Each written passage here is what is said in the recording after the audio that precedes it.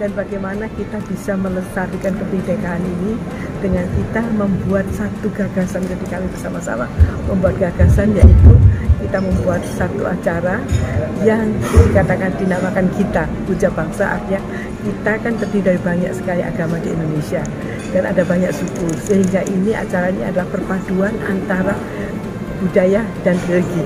Sehingga di dalam acara ini semua dari agama menampilkan bagaimana pemujaan mereka kepada Tuhan sesuai dengan kepercayaan mereka masing-masing. Kemudian dengan juga sesuai dengan uh, suku-suku di mana mereka berada. Dan bukankah kita sangat bersyukur karena Tuhan telah memberikan kepada kita Pancasila pemujaan kita kepada Tuhan dan bagaimana kita saling bisa mengasihi sesama kita walaupun berbeda.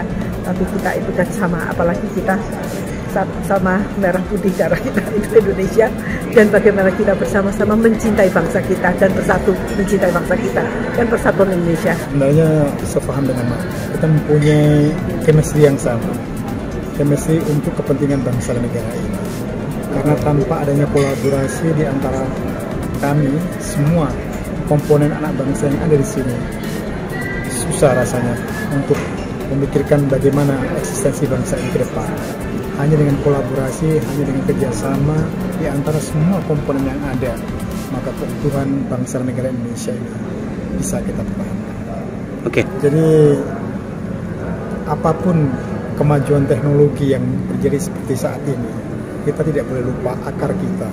Akar kita yaitu sejarah, akar kita adalah Pancasila. Dan itu bagaimanapun juga, makanya kita mengambil tema untuk acara tahun ini adalah reaktualisasi Pancasila sebagai rajut kebinekaan bangsa. Pancasila nilainya tetap, tapi dia harus wajib untuk direaktualisasikan agar dia mampu menjawab tantangan zaman.